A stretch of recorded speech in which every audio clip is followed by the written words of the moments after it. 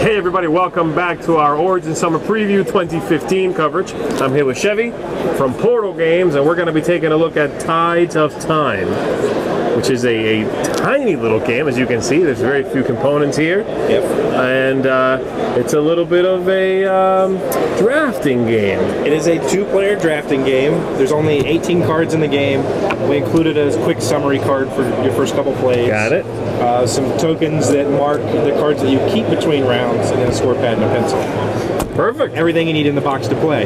So it's a two-player draft. In the start of the game, we each get five cards in our hand, and we're going to choose one to keep and then pass hands. Okay. Uh, we do that until all five cards have been drafted, and then we total up points. So, very much like any set collection game, you're trying to get sets of things. So, for instance, this card gives you three points for each tower that you have, Uh-huh. and you can see the the tower symbol is the suit of the card. So, if I had these two cards, this would give me three points So this card would be scoring off of off this. of this card. Yeah. So for each tower that I have, I get three points. So if I had more than you know six points or nine points or however that works out, there are three of each suit type in the game. There's five Okay. suits, and then there's three cards that don't have a suit, Got it. and they do special things. They typically don't score that much. Um, there's also cards that give you points for having the majority of a suit. Okay. So, for instance, if you can have the majority of temples, you gain seven points.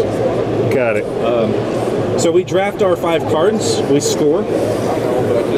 After we're done scoring, we take all of our cards back and we're going to choose one to keep for the rest of the game. That's our relic because the rest of our empire collapses. Got it. So we're going to keep one relic for the rest of the game. We'll mark that so we don't accidentally pick it up, which happens a lot. Mm-hmm. And then we draw two new cards, so we're back up to five, and we do it again. Got it. We're going to do that three times, and then the most points wins, scoring between each round. And the game then is, is a fairly short game. Ten minutes. Great, great. Yeah, definitely. Yeah, and there's uh, so is it, it sounds like there's an interesting build from round to round where you're not really resetting.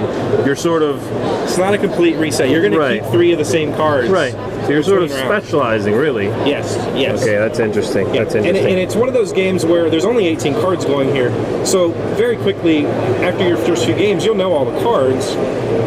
So you know what's left in the deck, you know what to expect, and that's actually part of the game because now you're trying to manipulate what your opponent's doing. So not only am I trying to score, I'm trying to keep you from scoring Mm-hmm. and trying to be tricky to prevent you from scoring. And so knowing the cards is actually an important part of the game. It's Right. not you don't need to have a huge deck of cards to be surprised every time. right, right. Very cool.